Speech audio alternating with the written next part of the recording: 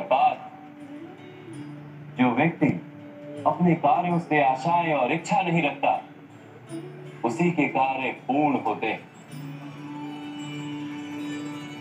एक असफलता से दुखी होकर जिसका मन डोलता नहीं, एक सफलता से आनंदित होकर जो स्वयं को सर्वश्रेष्ठ नहीं मानता, ऐसे ही व्यक्ति को कर्म योगी कहते हैं। और ऐसा व्यक्ति जीवन में बार बार सफल होता है।